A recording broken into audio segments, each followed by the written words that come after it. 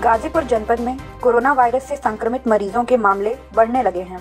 शनिवार को एक मरीज़ की रिपोर्ट पॉजिटिव आई है।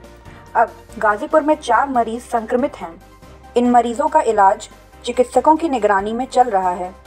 इन मरीजों के परिजनों के भी सैंपल जाँच के लिए लिए गए हैं। विभागीय टीम संक्रमित मरीजों के संपर्क में आने वाले लोगों को चिन्हित करने में जुटी हुई है। गाजीपुर को कोरोना वायरस के संक्रमण से मुक्त करने के लिए जागरूकता अभियान चलाए जा रहे हैं।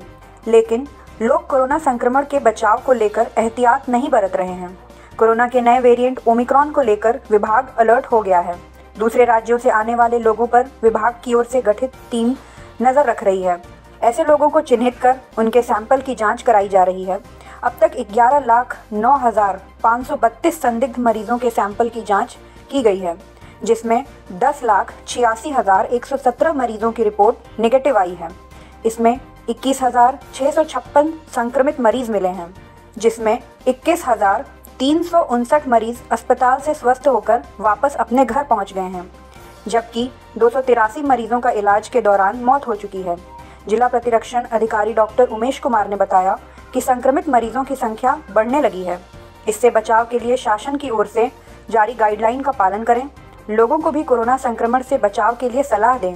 घरों से निकलने से पूर्व मास्क का प्रयोग करें व बाजारों में उचित दूरी का ख्याल रखें। ज़िले में एक मरीज़ की रिपोर्ट पॉजिटिव आई है। संक्रमित मरीज़ के परिजनों का सैंपल जाँच के लिए लैब भेज दिया गया है। इस मरीज़ के संपर्क में आने वाले लोगों को भी चिन्हित कर सैंपल की जाँच कराई जाएगी। ऐसी ही और भी खबरों के लिए हमारे YouTube चैनल को सब्सक्राइब करें और बेल आइकन को ज़रूर दबाएँ।